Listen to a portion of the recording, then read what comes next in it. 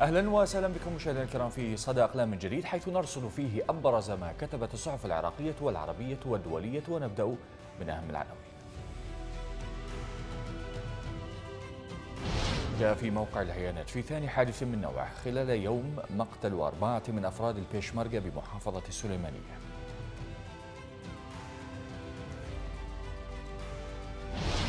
ونقرأ في المدى العراق يستورد منتجات إيرانية بأربعة مليارات دولار خلال ستة أشهر.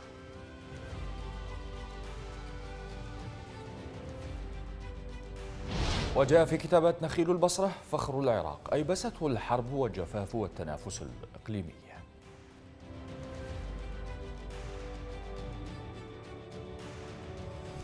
جاء في جزيرة نت بعد أمريكا علاقات بين تركيا وألمانيا تتجه للتطبيع.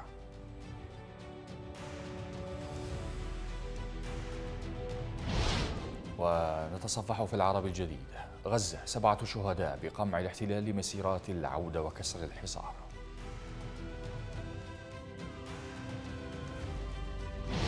نطالع في القدس العربي بومبيو يبحث مع دول الخليج ومصر والأردن تشكيل ناتو العرب.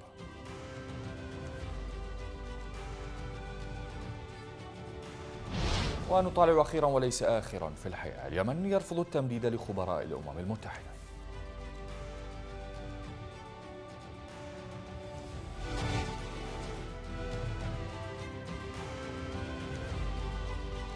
أهلا بكم. مقابل الأموال التي صرفتها الحكومة لحل مشكلة مياه البصرة زادت الكتل السياسية المرتبطة بإيران. كميات الرصاص التي تصرفها لميليشياتها الطائفية لتبدأ حملة اغتيالات منظمة وواسعة ضد المحتجين المناوئين لها. هكذا استهلت الكاتبة باهرة الشيخ لمقالها في صحيفة العرب اللندنية. وصف مجهولين هو السمة المشتركة للمسلحين الذين ينفذون عمليات الاغتيال والخاطفين الذين يستهدفون ناشطين وحقوقيين. أيدوا التظاهرات التي نظمت في البصرة ضد الحكومة المركزية بسبب نقص مياه الشرب النظيفة والكهرباء وارتفاع معدلات البطالة في المحافظة الغنية بالنفط. ترافق ذلك كل حرب نفسية من خلال شائعات وأراجيف يبثها حزب الدعوة بأن كل من يتعرض للأحزاب الدينية أو لأي من ميليشياتها سيكون الموت مصيره على الفور. أو يجري تغييبه وأسرته وقد تحولت الحرب النفسية الناعمة إلى حرب صلبة لغتها الموت اغتيالا أو تغييبا قسريا. وتحت وطأة هذا التهديد والوعيد شاهدنا أكثر من متظاهر وشاعر يتراجعون عن مواقفهم ويعلنون التوبة والندم ويلتمسون عفو الأحزاب والميليشيات. ومع أن الكثيرين ظنوا أن الحراك الشعبي الاحتجاجي في البصرة قد سكن وتراجع بسبب هذه التهديدات والمضايقات والاغتيالات فإن البصرة لن تسكت بل ستكون سببا في تحرك محافظات العراق كلها.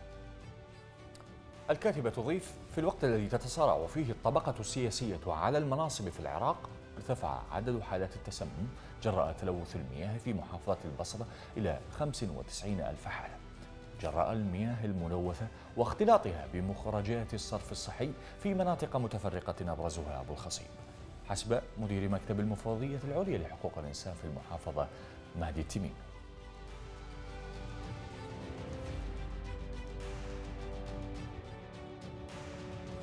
جاء في كتابات الملفت للنظر وخاصة في الآونة الأخيرة إطلاق التحذيرات المتكررة والمتنوعة للعراق من الدول الأجنبية. وبيان خطورة المرحلة التي تمر بها كأسلوب جديد من أجل استمرار سياستهم بحسب مقال نشر في كتابات. في الوقت الذي تتصارع فيه الطبقة السياسية على المناصب في العراق ارتفع عدد حالات التسمم جراء تلوث المياه في محافظة البصرة إلى 95 ألف حالة جراء المياه الملوثة واختلاطها بمخرجات الصرف الصحي في مناطق متفرقة. أبرزها أبو الخصيب حسب مدير مكتب المفوضية العليا لحقوق الإنسان في المحافظة مهدي التميمي في موقع كتاباته. فأمريكا غالبا تحذر من ظهور جماعة إرهابية على غرار داعش في العراق لتكتمل ما بقي من مسلسل التدمير الذي خلفته القاعدة ثم داعش.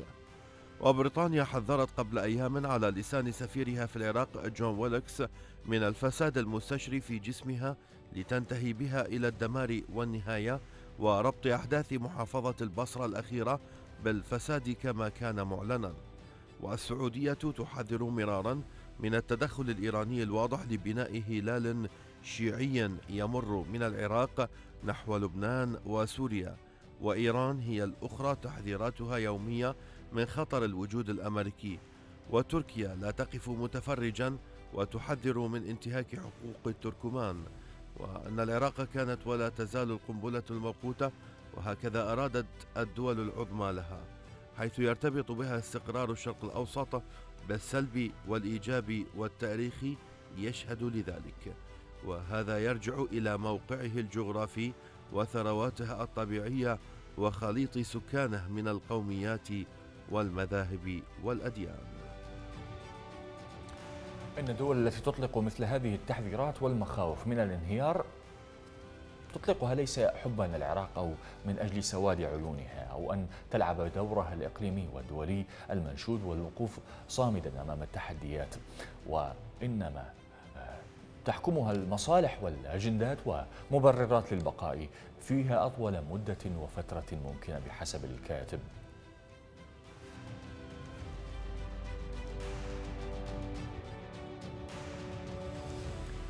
عقلاء العراقيين يعرفون جيدا كيف يقفون بالمرصاد لبعض الخبثاء من ممن يعملون آه، بعض الإجراءات في دوائر المخابرات الأمريكية والصهيونية الذين مثلا يحاولون أن يستدرجوا آه، عراقي سين من كان من العراقيين ويسرقوا لسانه من أجل إيهام بعض الشعوب الساذجة بالتجربة الديمقراطية العراقية. إذ قد يباغتون العراقي ويقولون له حسنا ولكننا كنا شهودا على العديد من الانتخابات البرلمانية التي حصلت في هذا البلد منذ عام 2005 حسب ما جاء في في المقال وحتى الانتخابات الأخيرة في عام 2018 والحكومة صرفت المليارات من الدولارات من أجل إتمام هذه الانتخابات. وهذا الأمر يثبت أن هناك ديمقراطية. وجود هذه المفردة يعني أن هناك حياة. وتجدد وأن الزمن متحرك لديكم والحاضر يسابق الزمن للوصول إلى المستقبل فماذا تقولون؟ هذا مقال للكاتب سلام حربة في صحيفة المدى يتحدث فيه عن التاريخ العراقي السياسي. لا يحتاج العراقي إلى أن يعيد شريط الأحداث والصور. انظروا لهذه الوجوه السياسية ورجال الدين في عام 2005 وما قبل هذا العام. فازت بالانتخابات المتعددة لأنها من كتل إسلامية طائفية سنية وشيعية أو شوفينية كردية وأصبحوا نوابا لرئيس الوزراء ونوابا لرئيس الجمهورية ووزراء ومسؤولين كبار سرقوا الخزائن والوطن واستباحوا الأعراض وجلبوا كل قتلة العالم. نحن الآن في عام 2018 وهؤلاء الشخوص أيضا فازوا أو لم يفوزوا في الانتخابات. هم مرشحون الآن أن يكونوا في المناصب ذاتها أو أية مناصب يختارونها وكأن النساء لغاية الآن. لم تلد غيرهم. نفس الوجوه يتناوبون على السرقة والطائفية وتخريب البلد. وإن ظهر وجه جديد هنا أو هناك فهو من ظلالهم ومن أتباعهم المستنسخين بالإجرام والكراهية للعراق. وللعراقيين الكاتب يضيف الحياة توقفت في العراق والكل يراوح في مكانه. الحاضر ملتبس وفوضوي والمستقبل مفردة مجهولة مسحت من القاموس العراقي. العراق الآن يقف اليوم متذكرا أطلال الماضي بأحداثه وأمكنته الدراسة ورجالاته من قادة عسكريين وشخصيات وطنية وثوار وعلماء وأدباء وفنانين وحين آه، يسأل العراقي آه، لمن تنتمي في هذا البلد؟ فإنه يجيب دون توقف بأنه ينتمي إلى ماضي.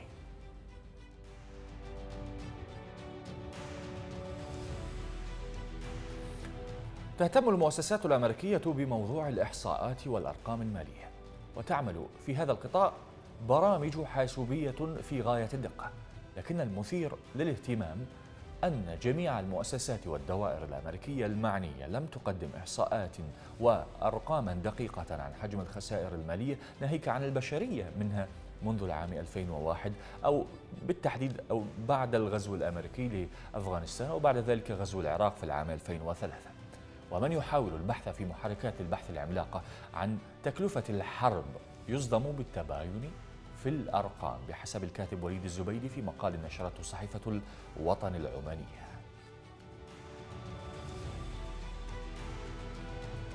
بدأت الحقائق تتكشف في وقت مبكر ففي عام 2008 وبينما كانت القوات الأمريكية تستعد لبدء الانسحاب من العراق بسبب حجم الخسائر الهائلة المادية والبشرية نتيجة للهجمات الشرسة التي شنها المقاومون في العراق.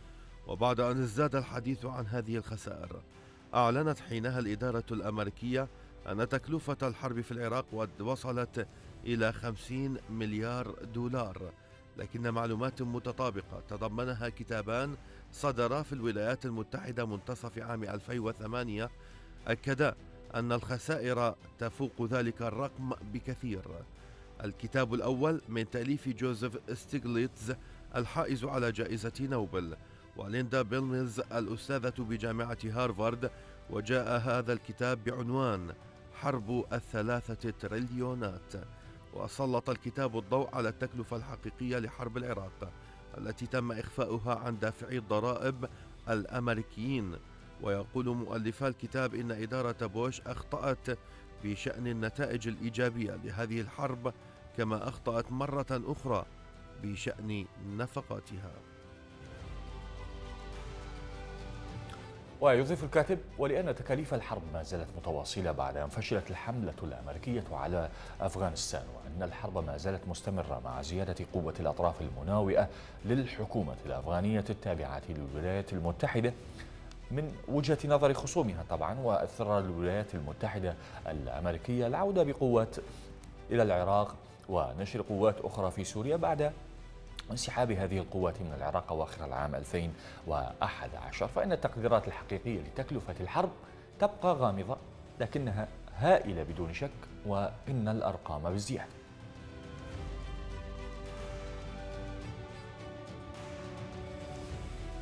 في القدس العربي نقرأ المسؤولون الإيرانيون وجريا على عادتهم في تفجير اللغة أطلقوا بعد هجوم الأحواز أنواعا من الوعيد في كل الاتجاهات ووزعوا التهم على فاعلين دوليين وإقليميين وحتى دول وصفوها بمرتزقة أمريكا. جريا على منوال قاموس ستينيات وسبعينيات القرن الماضي في التخوين ذهب بعض المحللين إلى أن الحرس الثوري الإيراني هو من دبر استهداف العرض العسكري في قلب الأحواز. واتهمت بعض فصائل المعارضة آه، الأحوازية مخابرات النظام بتدبير العملية. محمد جميح يكتب في القدس العربية عن تداعيات هجوم الأحواز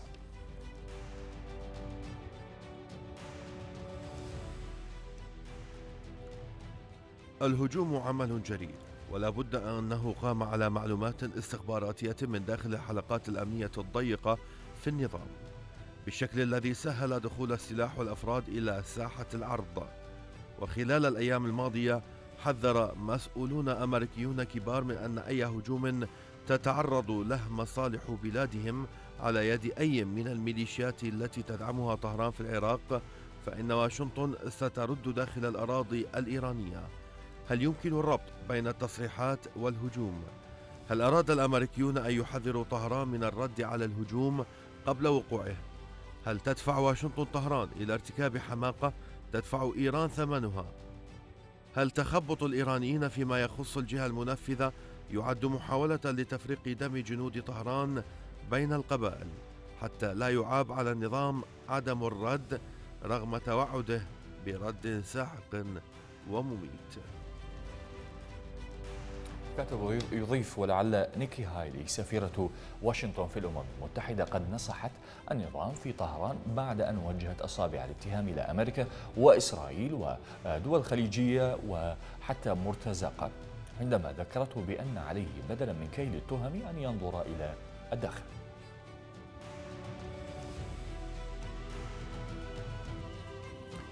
جاء في الحياة تبدو موسكو أكثر ميلا إلى التعامل مع حادث إسقاط طائرتها في سوريا بإدخال آه، تعديلات على استراتيجيتها في سوريا لتعويض الإخفاقات في رهاناتها على الولايات المتحدة آه، الأمريكية. يشار هنا إلى أن التوافق الأكثر صلابة بين الرئيسين الأمريكي والروسي في هلسنكي كان يتعلق بأم بأمرين آه، يعني من من إسرائيل وهو ما التزمته موسكو على الدوام وإخراج إيران من سوريا لكن من دون التزام روسي واضح بحسب الكاتب عبد الوهاب بدر خان في الحياة اللندنية. تظهر مصطلحات مثل الرد الجاحد على كل ما فعلته روسيا لإسرائيل والاستهتار الإجرامي والمعلومات المضللة ونزعة المغامرة إلا أن العلاقة بين القيادتين العسكريتين تأثرت في العمق. يستدل على ذلك أيضا من ردود الفعل الإسرائيلية التي انتقدت بعض منها بشدة محاولات إلقاء اللوم على النظام السوري أو إيران. واستنتج بعض آخر أن إيران خرجت مستفيدة من الخلاف غير المتوقع مع موسكو لأن تقنين الهجمات سيعفي نشاطات نقل الأسلحة والبرامج الإيرانية من أي مباغتات قاتلة أحيانا. هكذا فجأة تبدلت التقديرات السابقة بأن العلاقة الروسية الإسرائيلية استراتيجية وأن بوتين قد يكون أراد هذه العلاقة لإقامة توازن مع الوجود الإيراني وتحسب لأخطار انهيار التعايش غير المريح بين الجانبين الروسي والإيراني. فمع اعتراف النظامين السوري والإيراني بالمكاسب التي مكنتهما روسيا منها إلا أنهما متشبثان بتحالفهما سواء لارتباط مصيرهما أو لشعورهما بأن روسيا قد تغدر بهما إذا عرضت عليها صفقة مجدية ويتردد في الحلقات الضيقة أن لديها خططا لمقاومة حال كهذا. طبعا الإجراءات الروسية تشكل أيضا رسالة موجهة إلى الولايات المتحدة. فهذه كانت تدعم الضربات الإسرائيلية المنسقة مع روسيا باستراتيجية إخراج إيران من سوريا كما يصف الكاتب لكنها هو بوتين يبلغها الآن. أولا أنه لا يأخذ بهذه الاستراتيجية ما لم تكن جزءا من صفقة متكاملة. وثانيا أنه لا يستطيع تمرير الخطأ الإسرائيلي من دون عقاب. وثالثا أن نهج العقوبات المعممة كما تنتهجه إدارة دونالد ترامب يدفعه إلى العمل مع القوى الإقليمية المستعدة للتعاون معه.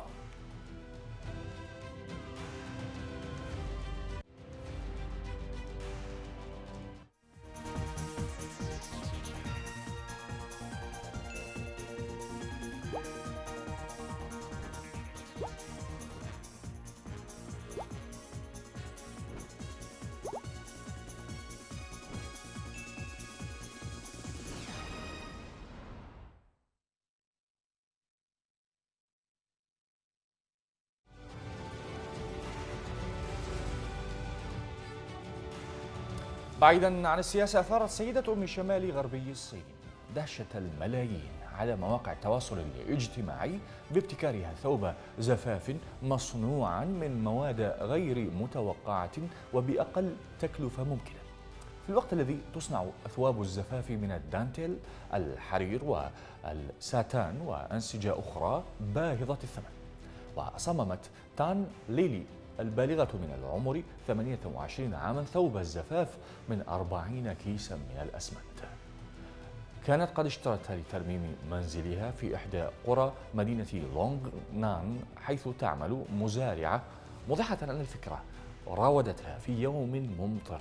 السيدة الموهوبة تركت المدرسة في سن الثامنة الثامنة عشر لتبدأ العمل في الأراضي الزراعية بعد وفاة والدها بالسرطان منذ أربع سنوات. وفقا لموقع ديلي ميل واعتبرها العديد من مستخدمي الإنترنت أجمل عروس شاهدوها على الإطلاق. وردت قائلة لم أكن لأحصل على كل هذا التفاعل والإطراء لو أنني صنعت ثوبا باهظ الثمن.